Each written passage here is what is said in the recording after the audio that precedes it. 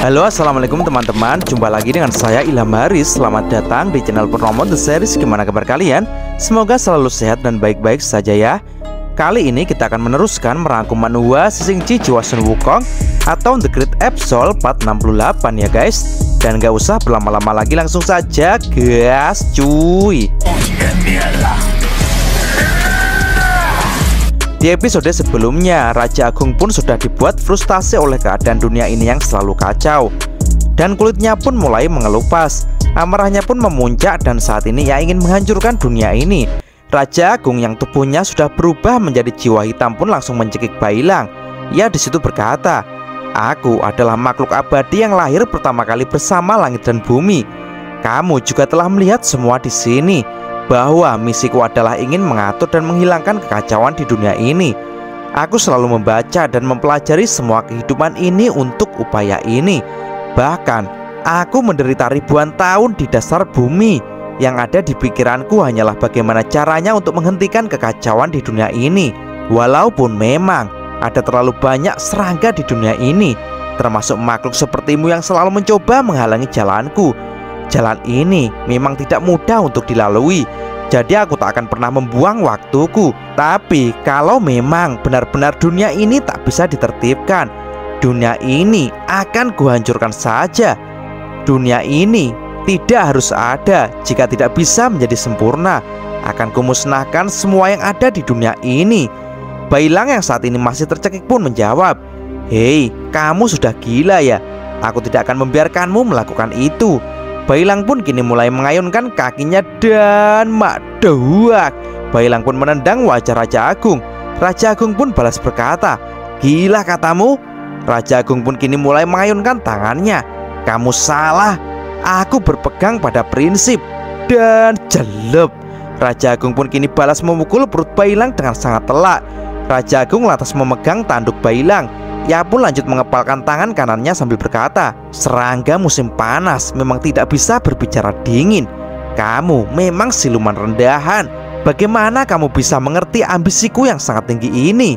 Dan dawar, Raja Agung pun kini lanjut memukul wajah Bailang dengan keras, membuat Bailang pun terlempar dan menabrak buku raksasa batu itu. Bailang pun mengerang kesakitan, tapi tiba-tiba saja Mak Dawar Seketika Raja Agung pun lanjut memukul Bailang dengan keras. Tapi Bailang dengan cepat menghindarinya sehingga pukulan Raja Agung menghancurkan batu buku raksasa di situ. Bailang yang saat ini mendarat langsung menatap Raja Agung dan berkata Hei Raja Agung, kau membawaku ke dalam dunia batinmu Dan kau telah mengungkapkan semua isi hatimu yang sebenarnya. Selama ini, kau mengatakan bahwa kau adalah manusia yang bermoral. Tetapi selama seorang tidak sesuai dengan dunia ideal yang kau maksud Kau berpikir lebih baik hancurkan saja. Kau sangat egois. Raja Agung pun kini menjawabnya Hei Bailang Apa yang kau ketahui? Aku memberikan imbalan yang berlipat kepada mereka. Aku bekerja sangat keras untuk dunia Tetapi pada akhirnya Mereka-mereka juga yang mengecewakanku. Memang inilah yang disebut keadilan. Apa kau mengerti? Ini adil. Omong-omong, adil. Aku sangat hebat. Raja Agung pun lanjut berteriak dengan sekencang-kencangnya Dunia tidak akan pernah berpihak kepadaku. Kehidupan itu hanyalah mimpi. Dunia akan terus melawanku sampai mati. Dan tiba-tiba saja buku-buku raksasa di situ pun terbuka dengan sendirinya. Bailang yang melihat hal itu pun berkata dalam hati, Raja Agung memang sudah gila. Pikirannya telah berubah. Dia sudah frustasi dan gila. Tujuannya juga telah berubah. Dia saat ini benar-benar ingin menghancurkan dunia ini. Aku saat ini berada di dalam batinnya. Jelas kekuatanku tak cukup untuk mengalahkannya. Karena ini adalah dunianya. Mata Raja Agung pun kini menjadi mengerikan. Ia lalu melesat untuk menyerang Bailang dan berkata, Bailang, hanya caci yang berkurang satu. Aku tetap masih untung. Akan kubuang kau ke tempat sampah. Dan dawar. Seketika Raja Agung pun menyikut Bailang dengan keras hingga muncrat darah. Kamu hanyalah serigala bodoh yang tak memiliki kecerdasan, teriak Raja Agung lagi. Dan dawar, ia pun kini lanjut membanting Bailang ke tanah. Raja Agung lalu bersiap untuk melayangkan tinjunya sambil berteriak. Makanya, jadilah orang yang lebih cerdas dengan mematuhiku bodoh. Dan dawar, Raja Agung lanjut menggembrek Bailang. Patuhlah kau kepadaku, teriaknya lagi. Dan Der, dengan brutalnya Raja Agung pun kini memukuli Bailang. Pertarungan antara Raja Agung dan Bailang ini menyebabkan tubuh asli Bailang yang di luar pun semakin terombang-ambing. Dan terlihat kini bola hitam pun menjadi tidak bulat lagi. Bentuknya sudah meletot tak beraturan. Energi yang dihasilkannya pun kini semakin mejen dan terlihat di sekitar pohon induk terjadi ledakan-ledakan yang sangat banyak dan ternyata itu adalah ledakan-ledakan yang dihasilkan oleh peperangan aliansi monster melawan sekte kebangkitan. Terlihat kini tongkat Ruyi pun berputar-putar. Dan itu siapa lagi kalau bukan sang raja keras Sun Wukong dan Dehuar. Nyala kalian. Tidak ada waktu untuk berbicara dengan kalian. Kalian bukan temanku. Wukong pun dengan brutalnya menghempaskan semua pasukan kebangkitan di situ. Wukong pun lalu menatap ke atas. Ia pun lalu bergegas mendekat untuk melihat bola-bola hitam dari Raja Agung yang sekarang sudah sangat penyok. Dan ia pun berkata, Wow, bentuk bola-bola hitam itu mulai menjadi aneh. Apakah itu disebabkan Bailang yang saat ini di dalam sana? Dia telah bekerja keras. Ayo, berjuanglah Bailang, kamu pasti bisa. Dan tiba-tiba saja, kini terlihat petir merah pun menyambar yang membuat Wukong pun langsung terkurung di dalam bola hitam. Dan ternyata itu adalah ulah dari pasukan kebangkitan. Mereka pun berkata, "Iblis rendahan, ayo kita musnahkan. Kamu tidak diizinkan melecehkan Raja Agung. Ayo kita gunakan kekuatan yang diberikan oleh leluhur kita. Ayo kita bergabung untuk membunuh iblis monyet ini." Para pasukan era kebangkitan pun semakin berdatangan untuk memperkuat segel yang mengurung Sun Wukong. Salah seorang di situ memberikan komando, "Hukum kera ini dengan tekanan yang kuat." Ayo, kerahkan, bunuh setan najis ini. Sun Wukong pun kini tampak tertekan karena banyaknya kekuatan yang menyerbu dirinya. Tapi Wukong pun tetap beringas dan percaya diri dan berkata, Hei, lagu kalian sungguh lucu. Salah seorang pasukan kebangkitan pun di situ berteriak, Kebenaran harus menang, Raja Agung harus menang. Dan makpluk, tiba-tiba saja sebuah kertas mantra kuning menempel di kepalanya, membuat orang itu pun terkejut.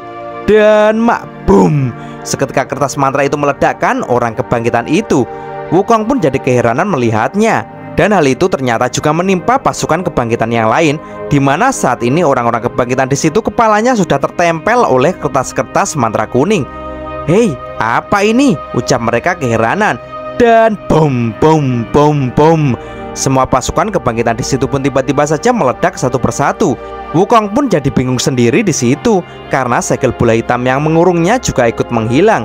Dan dari atas, kini terlihat ada piring terbang yang datang dengan dikelilingi oleh kertas-kertas mantra.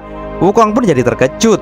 Sosok yang datang itu membawa kipas bulu di tangannya yang hijau dan berkata, "Kita harus tetap memproklamirkan keadilan. Aku sudah tak tahan lagi dengan semua kekacauan ini." Saatnya kejahatanmu harus dihentikan Dan bisa ditebak sosok yang datang itu adalah sang dewa bulus kodok ijo si raja kebajikan Taisang Laojun Dan dengan wajah jeleknya Taizun pun lalu berkata Raja kebajikan di sini Akhirnya aku menyambut kalian Para pasukan kebangkitan pun sangat terkejut melihat kedatangan si Dewa Bulus yang langsung meledakkan teman-temannya. Mereka pun lalu berkata, "Hei Raja Kebajikan, apa yang kau lakukan? Bukannya kau berpihak kepada Raja Agung? Sun Wukong pun tampak heran melihat Taizun dan berkata, Halo, apakah Raja Kebajikan ini datang untuk membantu? Xiao Liu pun juga berkata, Itu adalah salah satu dewa kuno, Raja Kebajikan ya. Dan Tong Am pun berkata, Hei, bukankah orang itu sekongkol dengan Raja Agung? Akajiri pun menyahut, Tampaknya Raja Agung memang tidak punya teman sejati. Di sisi lain, Neo Moren dan kawan-kawan pun masih sibuk bertarung dengan orang-orang kebangkitan. Tapi kedatangan Taizun tampaknya juga mengejutkan mereka. Rubah sembilan di situ pun berkata, Hei, bukankah orang berwarna hijau itu dewa? Neo Moren pun jadi keheranan berkata, Ah, dewa? Bukankah mereka semuanya telah menghilang? Raja Tiwa di situ pun juga berkata, Hei, Raja Kebajikan yang terkenal sebagai dewa yang netral itu ya? Siobe yang juga keheranan pun berkata, Netral apanya? Bukankah dia adalah dewa yang mendukung reformasi kebangkitan ini?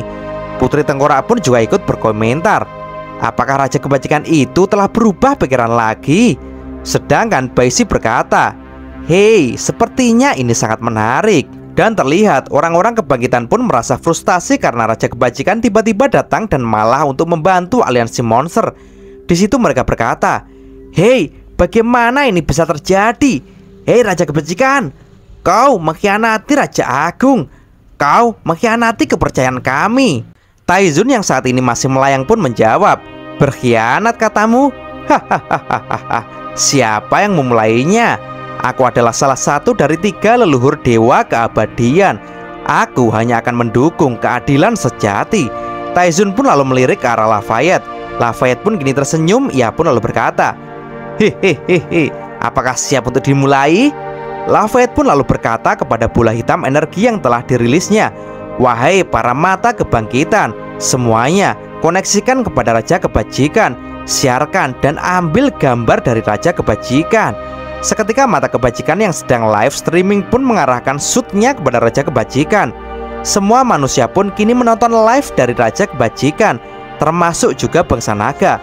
Aosue pun di situ tampak terkejut dan berkata, Raja Kebajikan, penuh kebajikan yang gelap. Kura-kura itu saat ini sudah keluar. Dan terlihat Kaisar Tang pun kini juga fokus menonton live dari Raja Kebajikan.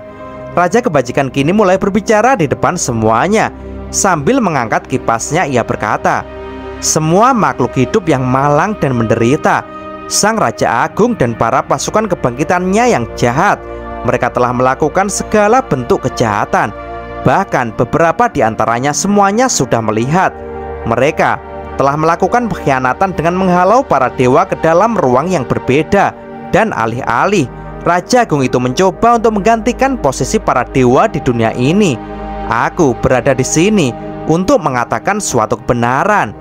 Kukatakan kepada kalian semuanya bahwa para dewa mereka tidak pernah bisa tergantikan dan mereka pasti akan kembali. Aku selalu berusaha mencari jalan agar mereka semua bisa kembali lagi ke dunia ini. Sun Wukong pun tampak agak kebingungan mendengar pidato dari Taizun. Apakah yang dikatakan Dewa Blues itu benar-benar bisa dipercaya? Sedangkan para orang-orang kebangkitan pun kini menjadi marah dan berteriak. Hei Raja Kebajikan Kamu memang cacingan Kau telah memainkan kami Beraninya kau memanfaatkan kembalinya Raja Agung ke dunia ini Raja Kebajikan pun menjawab Hei kalian semua hanyalah hewan kebangkitan Yang telah diracuni terlalu dalam oleh Raja Agung apa kalian pikir kalian benar-benar bisa merubah dan menjadi revolusioner, menjadi penyelamat? Raja kebajikan pun lalu memanggil para muridnya. Hei para muridku, kemarilah dan urus mereka. Keempat murid Raja Agung pun kini meluncur dengan menggunakan piring terbangnya. Para ciwi-ciwi murid Taizun pun kini mengeluarkan kertas mantra kuning dan mereka berkata, Para penjahat ini, kejahatan mereka harus dimurnikan.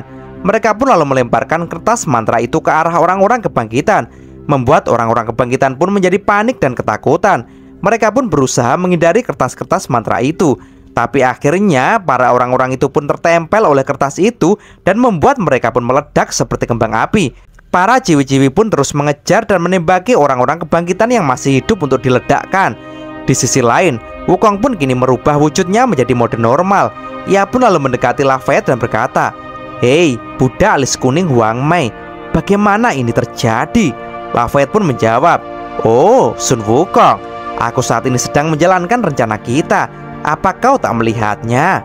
Sun Wukong pun langsung menatap tajam ke arah Lafayette dan berkata, Apa? Apakah kamu dan Taizun diam-diam sudah bersekongkol? Ya, apakah dia yang menyuruhmu untuk datang ke pohon induk untuk menemukan kami semua? Lafayette pun tertawa dan berkata, Hahaha, bersekongkol apanya? Tidak baik berkata seperti itu. Aku memang sudah sangat lama sudah menjalin persahabatan dengan Dewa Taizun itu. Tidakkah kamu tahu Lafayette pun meringis dan lanjut berkata, Kodok di istana bulan waktu itu, jika Raja Kebajikan tidak melepaskannya, maka tidak akan ada Buddha alis kuning hari ini di sini. Taizun lalu tiba-tiba menyahut perkataan Lafayette. Terima kasih kembali. Taizun pun lalu menoleh kepada Wukong dan berkata, Sun Wukong, kamu benar, itu benar. Tidak akan ada perlawanan kali ini dan pertempuran akan berlanjut kecuali aku telah merencanakannya di belakang. Wukong pun jadi kesal dan berkata, Hei, berarti kamu telah memanfaatkan kami untuk peperanganmu ya? Taizun lalu menjawab, Tidak ada yang memanfaatkan siapa. Kalian turun ke bawah untuk berperang. Bukankah itu kemauanmu juga? Kebetulan keinginan kami semua sama. Aku sekarang memimpin murid-muridku untuk ikut dalam pertempuran ini. Bukankah itu sudah menjelaskan semuanya? Wukong pun kini masih menatap tajam kepada Taizun dan berkata, Raja Agung bisa mencapai posisi seperti hari ini. Itu juga karena dukunganmu. Kau telah membantu orang jahat. Taizun pun malah tertawa dan berkata Hahaha Anak laki-laki Kau benar-benar lucu. Lihat ke depan Lihatlah ke depan ah Hanya pecundang yang terus saja melihat masa lalu. Lafayette pun kini juga berkata sambil tersenyum Hei Sun Wukong Sekarang kita semua adalah rekan seperjuangan Kau jangan bicara begitu keras dengan rekanmu ini ya. Sun Wukong pun hanya terdiam saja Karena Wukong merasa ada sesuatu di balik rencana yang dilakukan oleh kedua monster kodok itu. Di sisi lain, bola hitam raksasa Raja Agung pun bentuknya semakin rusak dan meleot Karena saat ini di dalam jurang kesadaran Raja Agung Bailang masih bertarung sengit dengan Raja Agung. Dan benar saja, kini terjadi ledakan di buku raksasa batu di dalam dimensi itu dan ternyata itu karena ditabrak Bailang yang saat ini ia terlempar dengan keras. Hingga akhirnya Bailang pun jatuh di buku raksasa yang lain. Raja Agung pun kini melompat lalu berdiri di depan Bailang Ia lalu berkata Hei hei Bailang Tidak apa-apa. Apa kau sudah menyerah? Sayangnya kamu telah melewatkan kesempatan untuk berdamai. Aku tidak akan pernah mengembalikan tubuhku padamu. Aku di sini untuk menghancurkanmu dari dimensi kesadaran yang paling dalam ini Mayatmu selamanya akan mengapung di sini. Monster bajingan sepertimu seharusnya tidak kembali ke dunia. Tapi tiba-tiba saja Bailang pun kini masih bisa bangkit. Hal itu membuat Raja Agung pun terkejut. Bailang di situ berkata, "Terima kasih. Aku kembali naik ke dunia itu, tidak perlu izin darimu." Dan mak jerot Raja Agung yang kesal karena perkataan Bailang pun langsung memukul Bailang dengan sangat keras. Membuat Bailang pun terpental mundur. Bailang pun kini berusaha untuk menahan tubuhnya agar tidak jatuh. Tapi tiba-tiba saja Raja Agung sudah melompat dan akan lanjut memukul Bailang. Lihatlah apa yang akan terjadi padamu Teriaknya. Dan grep Tiba-tiba saja Bailang pun kini memegang dan menahan pukulan dari Raja Agung dengan tangan naganya. Raja Agung pun sangat kaget dibuatnya Bailang yang sudah serius pun kini berkata Hah, akhirnya aku menangkapmu Di dunia batin ini, kamu sangat membosankan. Kau sangat menyedihkan. Hatimu sangat kotor. Hatimu dipenuhi dengan rasa iri dengan semua kesenangan di dunia ini. Dalam ruangan hatimu itu penuh kontradiksi, kebencian, dan kegelisahan. Jelas saja perkataan itu membuat Raja Agung pun sangat murka. Pemikiran yang rendah Mengapa serangga sepertimu menilaiku? Iya, teriak Raja Agung sambil mendorong tangannya, membuat Bailang pun sedikit bergeser ke belakang. Tapi Bailang pun berusaha untuk terus menahannya. Bailang pun lalu balas berkata, "Hei Raja Agung, aku berasal dari hubungan yang penuh warna di dunia dan ada cinta di dalamnya. Karena aku lebih unggul satu poin dalam hal ini, aku tidak akan kalah darimu." Bailang pun kini mengeluarkan amarahnya. Wajahnya pun terlihat sangat sangar dan mengeluarkan api semburan api naga raksasa dan mak belar. Dengan jiwa naganya, Bailang pun menyemburkan api yang sangat besar kepada Raja Agung. Semburan itu sangat dahsyat, membuat Raja Agung pun terhempas ke atas. Bahkan api itu meledakkan buku-buku raksasa di atas. Raja Agung pun sangat syok karena tubuhnya kini benar-benar dilalap api dari Bailang. Bailang pun masih menatap tajam ke atas dan berkata, "Hei Agung, bangunlah dari mimpimu. Dan cerita pun bersambung. Oke teman-teman terima kasih sudah nyimak alur cerita kali ini sampai habis. Semoga teman-teman terhibur. Jangan lupa terus dukung channel ini agar terus berkembang ya. Dan sampai jumpa di episode selanjutnya. Dan jangan lupa besok puasa Arafah Puasa Idul Adha ya. Assalamualaikum warahmatullahi wabarakatuh